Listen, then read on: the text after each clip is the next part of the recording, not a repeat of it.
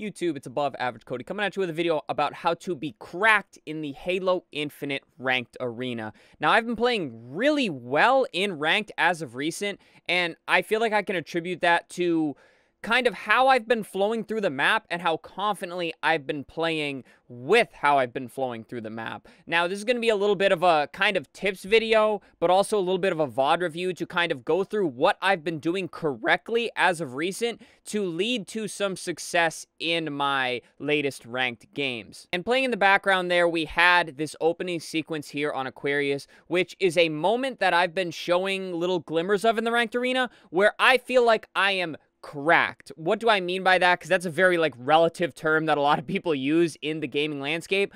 I mean just moving quickly, checking angles, going to where I need to be, making the right decisions, and kind of doing all of that in one perfect jumble, which leads to some really well orchestrated Halo Infinite ranked gameplay. Now, we're going to go through this opening sequence here. Um, I go down here and grab thrust, and you can see I am ready, reticle up, pointed exactly where I expect the enemy to be there on thrust. There's actually nobody there. Okay, move to the next spot. Jump up. I throw the quick little grenade there. There's nobody car 3. If I if there's nobody car 3, guys, normally old me, I would literally jump up, you know, stand here, maybe really slowly move my reticle, look to top mid, look back to their base, you know, huh, where's the enemy? Very slow way to play the game. So how do you be cracked on Halo Infinite? If there is nobody in front of you, you have to either A, get info from your teammates, or B, find the enemy yourself. And I choose to check the most obvious place that players like to go, and that is uh, the car 2, car 1 angle. So I quickly shift over that way. I met with a one. I see him. I know he might hide. I can see he's fighting somebody over in my own util. So he goes behind there. So in case he hides, I'm going to put a grenade that will hopefully land somewhere and probably damage him or possibly even kill him. He pokes out. I quickly react and snap over to him for a very, very easy kill. I'm even ready to melee him in case he actually just doesn't take that bullet into the head here. So let's go through the sequence here. Very quickly snap. Snap over to him. He doesn't know where to go. Very easy kill. And I think this is what you can consider as being cracked at Halo Infinite. It's not always hitting those flashy sniper shots or those crazy like Hail Mary grenades and stuff like that, knowing exactly where the enemies are. It is very simply snapping and looking in the right direction at the right time so that not only are you finding the enemies before they find you, but you're there to help your teammates, which this is kind of the perfect example of that. And the sequence does continue after that kill. Now, I have three thrusts in my pocket still. I'm very aware of that. And now I drop down. I'm pretty sure I had a call out, and also I heard these people fighting down below because they chose to go low on the car side here. So I come out, jump right out, reticle right on the enemy. I'm feeling very confident with my aim right now, and just keep going. Fly out. Okay. I'm turning. I'm off to the races. Um, I know one got past me. I'm twirling around. I'm trying to find him. I'm putting in some very good shots so that the homie Goose here on his alt can pick up the very easy kill. And let's just watch that whole sequence back. Get the kill, keep moving. Get the kill, turn around, keep moving. I know one got through, spin around, do the 180, put in a lot of damage, gets the kill. I quickly turn around and move to the next area. Now, this is obviously Slayer on Aquarius. If it was CTF, I'd probably keep moving up here into util. But instead, we have three enemies dead. I know because I just had a very big part in killing all of them. So I'm going to jump up and get into a position where I am ready to locate the spawners, right? Just to go back here, make sure everybody's following along. Keep your eyes open, everybody. Jumping up, car three, Nobody, snap. Get this enemy, kill him, move to the next. Get this guy, kill him, move to the next. Locate this other guy here, get all the rocket kills, and then you wait for the others to spawn up and you push the spawn here, guys. The biggest thing I want to put here before we move into the next section of this sequence to be cracked at Halo Infinite, when you get a kill, whether you have full health, half health, maybe if you're one shot, I wouldn't do this, but you have to move on to the next enemy. Keep that reticle moving and locate the next place here. A lot of people, including me, I do this a lot, is I'll get the kill and I'll go I'll go full like baby mode and hide in a corner and it's like, "Oh, I got to regen. I can't I can't chow until until I'm full health because that's how I'm to die." That leads to a lot of downtime. You're getting no info for your team and you are doing zero damage. This is why I am very guilty of having a low damage stat almost every game. I'm doing these moments where I'm kind of sitting there, looking in a corner, hiding. Like, you got to be aggressive. You have to push. You have to help your teammates and let your teammates help you. So, this is a perfect example of that. Again, kill, on to the next one. Another kill, on to the next one. Just helping the teammates mop up the kills as quickly as possible. Put in damage here so that Goose doesn't have to take too much damage and gets the kill. On to the next sequence. Get to an area. I see the homie over there on yellow base. So it's safe to assume, now that I just saw Goose back there on yellow util, I know that the spawners are either going to be P1 or they are going to be yellow fridge. So what am I going to do? Push the pressure, eat up the map, and I'm actually gifted seeing an enemy slide into fridge area there. Right here. So I know they're in fridge, right? I don't grab that cutie because I grab I already have three thrusts in my pocket, which I plan to use. So instead, I believe I tell whoever's behind me to pick it up because obviously power up there, you don't want to just leave it sitting there. It is very useful, especially on Aquarius. And here, I'm going to push out confidently, a little bit too confidently because I thought I had more help than I did. Um, but you can see here, I get jiggy with it. I get the kill. I thrust back. I'm trying to buy time for my teammates. They put in a lot of damage, and if I get that melee there, this is probably the most godly clip I could have ever showed you on my uh like trip to improving in Halo Infinite Ranked. But I actually get done up there, but Goose is actually there to pick up the kill off spawn. So again, just moving quickly, confidently, good aim, back him down. I choose to push him. Keep the reticle up, easy kill.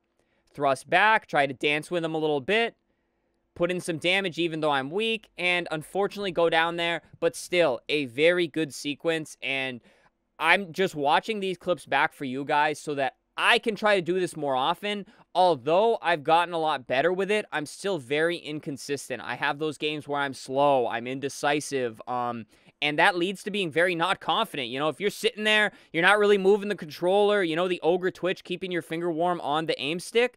It, if you're just sitting there hiding, you know, regenning and kind of like being a little baby and trying to regen like I normally am, it leads to a very cold aim. You jump out, you finally take a fight, and you get absolutely obliterated. It really happens to all of us. Um, I get done up here in util. Um, a little bit of an unfortunate gunfight not going my way, missing a couple bursts there. But this next life here is another good example of just keeping the reticle up, moving around the map, and just snapping to the next target very quickly. See, there's one in util. I don't see one there, but I'm going to put a grenade there just in case. Maybe I can get a stray kill or some damage. And now jump out again. Reticle up. I'm ready to shoot thrust. He gets hit with bullets so quickly, guys. He cannot even hit me back here, right?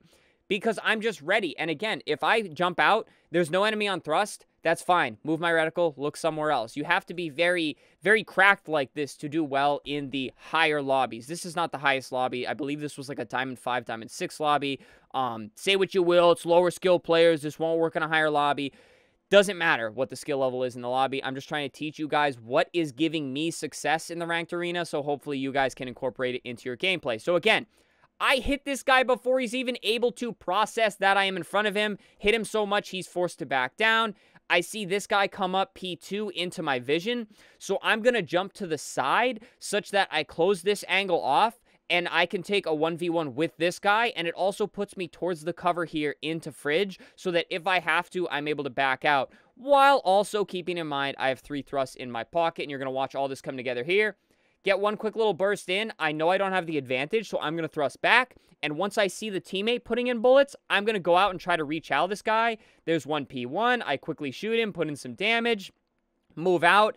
And I was actually going to hold this corner until I regen. I get hit with a really good grenade from the enemy here. And now I try to hold my position. I push out, I thrust back, and an enemy actually comes up behind me. Now, not the best looking sequence by any means. No, uh, my gameplay's not perfect, but just again showing these the example of playing cracked, moving fluidly with the map towards cover while shooting all at the same time. Like I said at the beginning, one perfect jumble of doing everything proper at the same time. Halo's a game of chess. You have to do all of this at once. Think about where the enemies could be, shoot them quickly, snap to the next one, use your cover, be unpredictable, push out. This dude's getting team shot. A lot of team shots going on here.